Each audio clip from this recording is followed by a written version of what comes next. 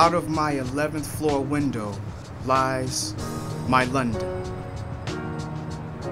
Hazy electric blue early morning dampness or early morning fleeting sunshine sometimes greets me. Still seemingly beautiful, even though my London can't decide.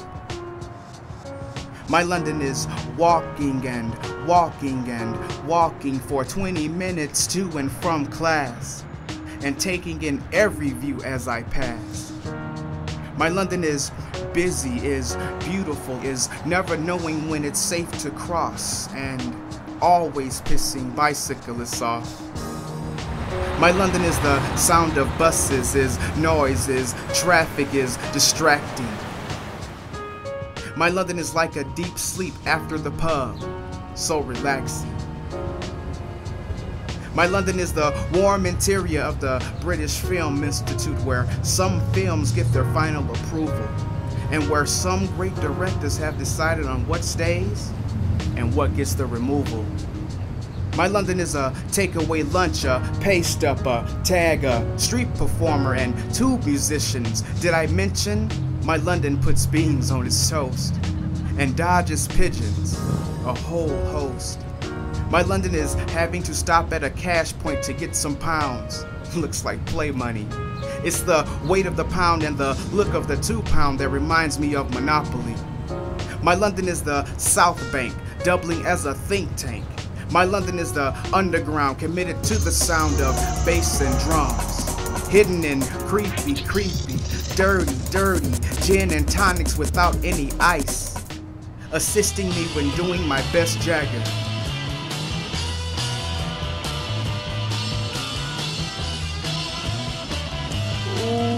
Earl, my London is a priceless swagger.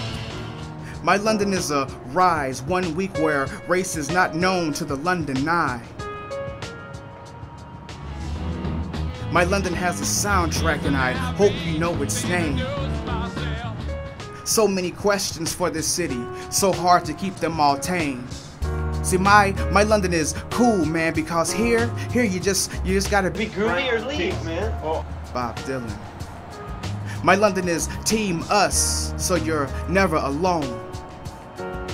My London is Bob. My London is Steve. My London is breathtaking views everyone I sees. My London is recognizing that it's been properly the next day for several hours.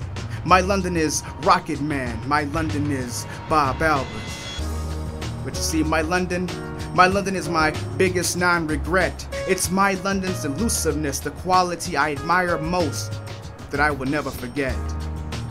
But you see, my London is just that mine, and it can't be yours. And my London doesn't seem so far away since I've been on my London's shores.